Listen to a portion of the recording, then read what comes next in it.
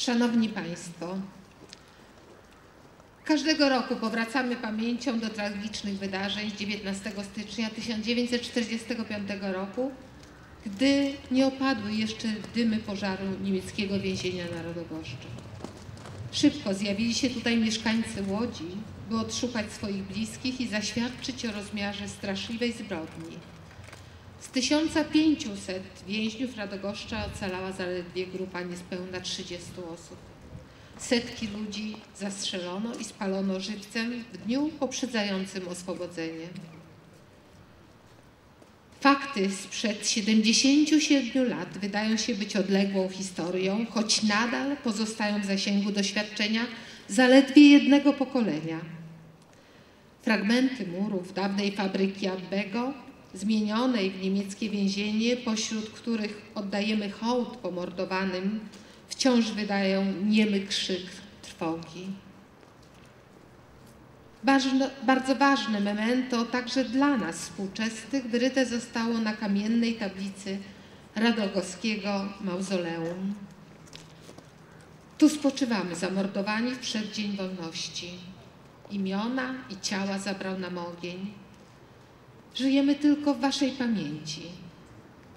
Niech śmierć tak nieludzka nie powtórzy się więcej.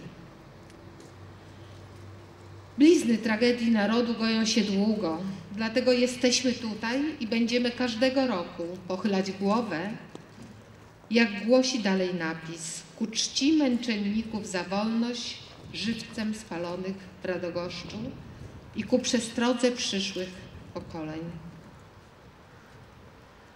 Dymy wojennej pożogi rozwiewa powoli wiatr historii.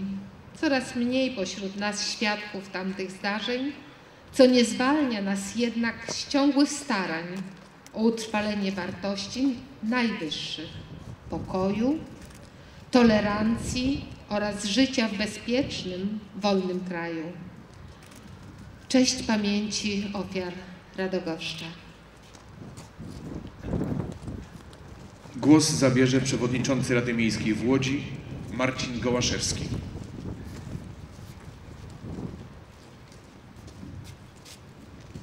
Szanowni Państwo, północ rozpoczyna się mord. Mord, który trwać będzie nieprzerwanie całą noc. Krzyki 1500 więźniów. Ciemna, mroźna, styczniowa noc. Rozkaz brzmi: zabić, nie pozwolić zbiec nikomu. Najpierw rozstrzeliwani są więźniowie funkcyjni, później kolejni. Około godziny drugiej, trzeciej nad ranej więźniowie stawiają opór. Rozpoczyna się kolejny akt dramatu. Więzienie staje w płomieniach. Na ratujących się ludzi czeka grat kul. Ci, którzy wydostaną się z piekła płomieni, dobijani są przed budynkiem. Zaledwie trzydziestu uda się ocaleć. Innego końca świata nie będzie. Innego końca świata nie będzie. Brzmią słowa piosenki o końcu świata Czesława Miłosza. Koniec świata wydarzył się tu, w Łodzi, w tym miejscu. Zło wydarzyło się tu, nigdzie indziej, tylko właśnie tu.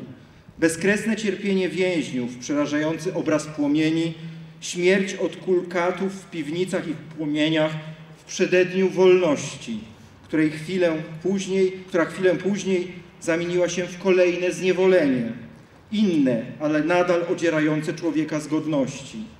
Gdy jedni się cieszyli z końca wieloletniego terroru, inni z przerażenia zamarli na widok bestialstwa uczynionego ręką człowieka, Niemca, okupanta, przestępcy. Zebraliśmy się dziś w miejscu szczególnym dla społeczności Łodzi, w miejscu, w którym doszło do niewyobrażalnej zbrodni na polskich obywatelach, także na grupie 300 Rosjan przetrzymywanych w więzieniu. Jak co roku nasza obecność tutaj ma służyć pamięci tych pomordowanych. Bez miaru krzywd nie sposób opisać, bo słowa i język nie wyrażają bezkresu zbrodni. Dlatego warto posłużyć się słowami Jana Karskiego, kuriera polskiego państwa podziemnego, który bezskutecznie usiłował poruszyć sumienie świata wiadomościami o trwającej na ziemiach polskich zagładzie. Zagłada była czasem, kiedy rozpadł się obraz człowieka stworzonego na podobieństwo Boga. Podobnie było i tu, na terenie Radogoszcza. Ci, którzy przeżyli, Już na zawsze musieli mierzyć się z traumatycznymi przeżyciami, które nie sposób zapomnieć. W murach tego więzienia dokonał się mord, bezprzykładny, bestialski mord na bezbronnych ludziach. Nie dokonali go jednak bezimienni sprawcy, a konkretni ludzie i tylko część z nich poniosła odpowiedzialność za zbrodnie. Ten wojenny dramat budzi w nas z jednej strony pragnienie zachowania pamięci o tamtych czasach, z drugiej dawne więzienie na Radogoszczu niesie ze sobą przestrogę, przestrogę przed nienawiścią, totalitarnymi rządami opartymi o kłamstwo, pogardę, manipulacje, poniżenie drugiego człowieka, jego instrumentalne traktowanie, wyzyskiwanie, postrzeganie wyłącznie w kategoriach rasowych. Mówiąc o ofiarach, należy wspomnieć jednak o jeszcze jednym dramacie, który rozegrał się obok tych wydarzeń. O dramacie w wymiarze jednostkowym, ludzkim. Zło zawsze jest identyfikowalne, zbrodnia ma katów i ofiary. Są jednak sytuacje wyjątkowe. Ostatni żyjący więźnień, Donat Doliwa, wspominał kilka lat temu Waldemara Norquesta, łodzianina niemieckiego pochodzenia, lodzermensza, starszego wachmistrza policji, świadka i uczestnika tych tragicznych wydarzeń.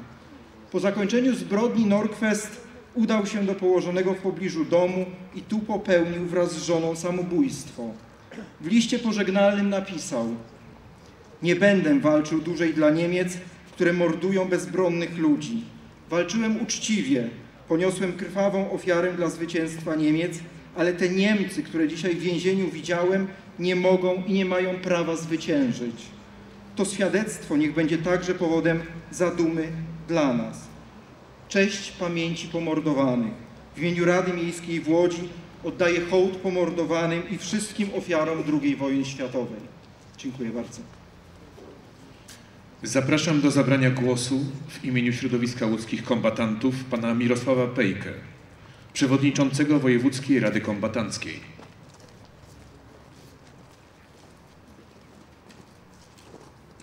Szanowni Państwo, w imieniu kombatantów Wojewódzkiej Rady Kombatantów w Łodzi serdecznie dziękuję organizatorom dzisiejszej uroczystości za, proszenie, za zaproszenie nas na to spotkanie. To spotkanie dla nas jest bardzo bliskie, ponieważ w czasie II wojny kombatanci ginęli także samo na poszczególnych frontach, partyzantkach, obozach niemieckich, w łagrach radzieckich. Szanowni Państwo, ponieważ moi przedmówcy praktycznie wszystko powiedzieli o tej sytuacji, jaka tutaj zaistniała, pozwólcie, że ja tylko zwrócę się do Państwa, że szczęście macie, dziękujcie Bogu, że przez tyle lat w Polsce był spokój.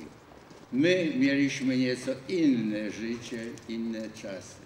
W związku z tym ja w imieniu kombatantów złożę hołd dla tych osób, które tutaj w tym więzieniu zginęły, oddały życie za Polskę.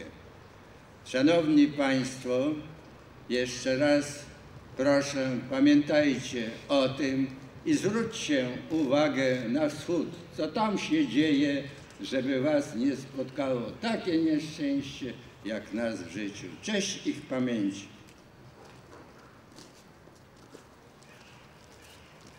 Tradycją w Łodzi, mieście wielu kultur i wielu wyznań, jest wspólna modlitwa za poległych w obronie ojczyzny i tragicznie zmarłych w wyniku wojennych represji. Zapraszam do modlitwy międzywyznaniowej. Jego Ekscelencję księdza arcybiskupa metropolitę łódzkiego Grzegorza Rysia, księdza Eugeniusza Fiedorczuka, proboszcza parafii prawosławnej pod wezwaniem świętego Aleksandra Newskiego w Łodzi, naczelnego rabina Łodzi Dawida Szychowskiego, księdza Semkę Korozę, proboszcza parafii ewangelicko-reformowanej w Łodzi, księdza biskupa Marię Włodzimierza Jaworskiego, ordynariusza diecezji śląsko-łódzkiej Kościoła Starokatolickiego Maria Witów, księdza Leszka Wakułę z Kościoła Chrześcijan Baptystów w Łodzi.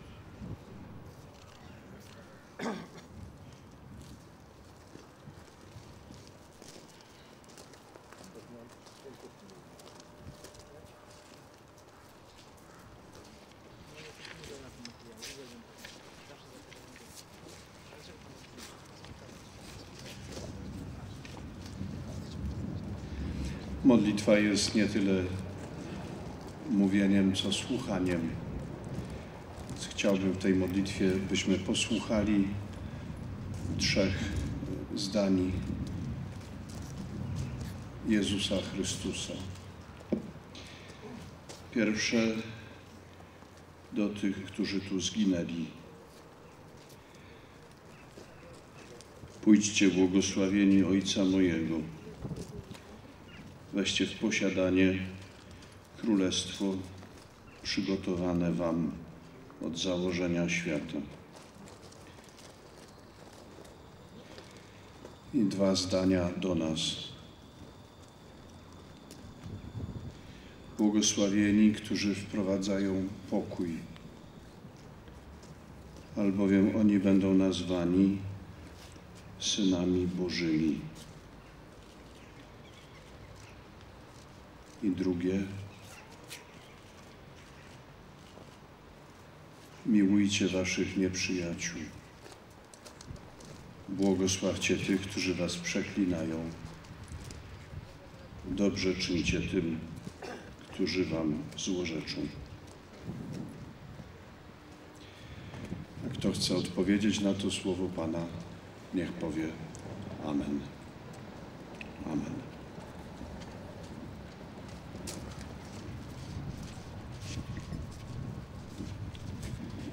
Pan z Wami. Módlmy się. Wszechmogący, wieczny Boże, Ty litujesz się nad prześladowanymi i cierpiącymi. Wierzymy, że przyjąłeś tych, którzy w tym obozie cierpieli i w okrutny sposób zostali pomordowani w 1945 roku, przeddzień wyzwolenia, że przyjąłeś ich do swoich przybytków. Bądź, o Panie, miłościw ich duszom. Wieczny odpoczynek racz im dać, Panie, a światłość wiekuista niechaj im świeci. Amen.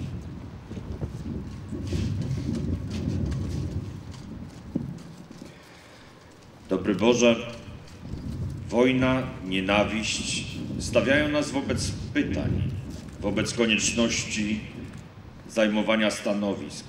Spraw, żeby w naszych sercach zawsze mieszkała dość gorąca, dość żywa miłość, byśmy nie ulegli takiemu okrucieństwu, takiemu zbydlęceniu, wobec którego tutaj stoimy, wspominając pomordowanych więźniów. Spraw, byśmy składali dobre świadectwo wiary, będąc jednym w Tobie, w Twojej miłości, w Twojej łasce, w Twoim wybaczeniu. Prowadź nas swoją Ewangelią i uchroń nas od takich okrutnych doświadczeń, jak te, które dziś wspominamy. Amen.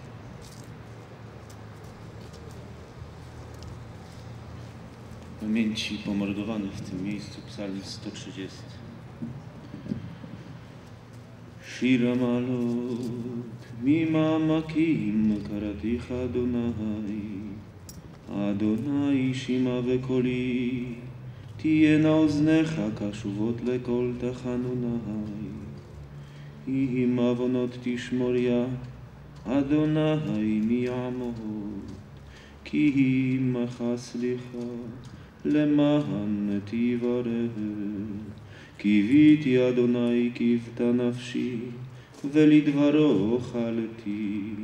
נפשי לאדוני משומרים לבוקר, שומרים לבוקר. יחל ישראל אל אדוני, כי אם אדוני החסד והרבה עמו פדות, והוא יפתה את ישראל מכל עוונותיו.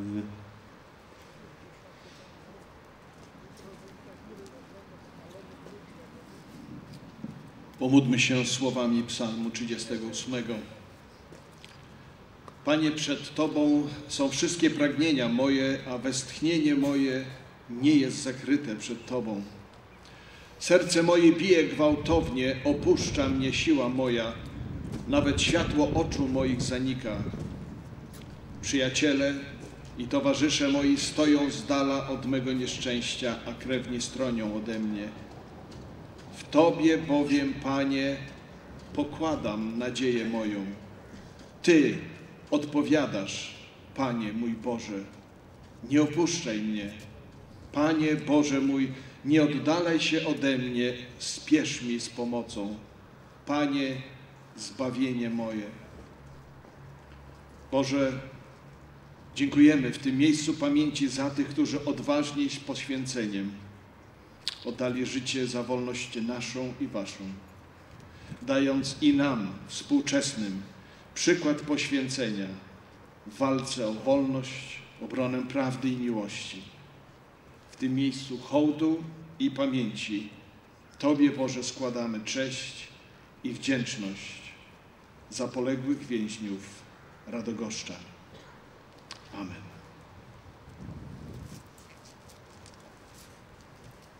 Dziękujemy przedstawicielom duchowieństwa za ich modlitwę, za słowa nadziei i pokrzepienia.